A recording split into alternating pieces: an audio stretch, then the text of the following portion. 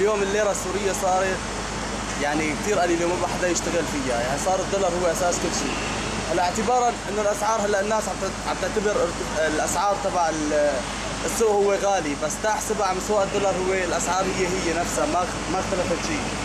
سبب انخفاض الدولار سبب تدخل روسيا وتدخل إيران وتدخل الصين وتدخل كل الدول الموالية للأسد تدخل على البلد هي اللي عم تسوي انهيار اقتصاد البلد.